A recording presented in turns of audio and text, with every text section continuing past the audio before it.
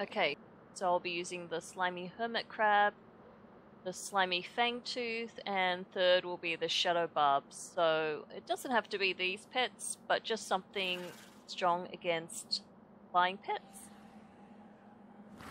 And there goes the worm.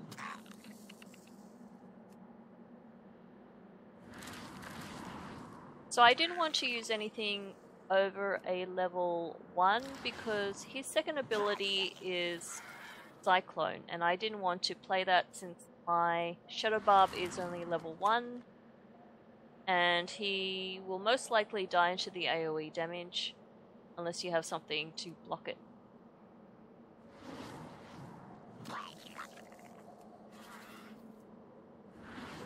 So I essentially chose pets that are strong against flying, but also have speed advantage or extra power.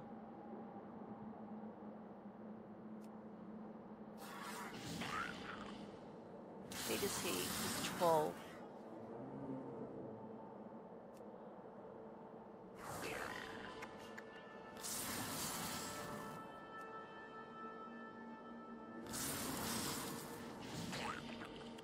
Oh, come on.